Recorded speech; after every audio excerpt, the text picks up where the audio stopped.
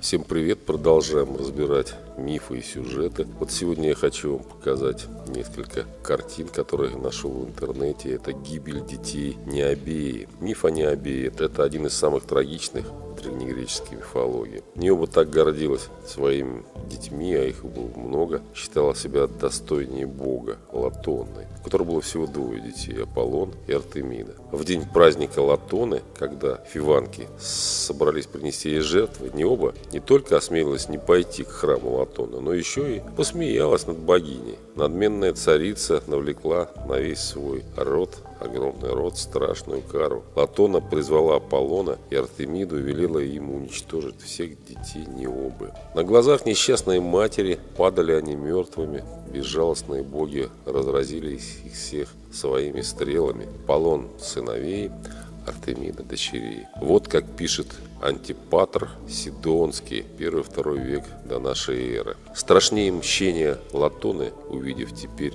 проклинаешь ты многодетный спор свой необдуманный с ней. В корчах бьется одна твоя дочь, бездыханная другая. Пала и третья, грозит той же удел роковой. Но не исполнилась мера страдания твоих покрывает землю собою толпа павших твоих сыновей. Жребий, тяжелый оплаков, убитые горем не оба, скоро ты станешь, увы, камнем бездушным сама. Так пишет Антипар Сидонский, 1-2 век.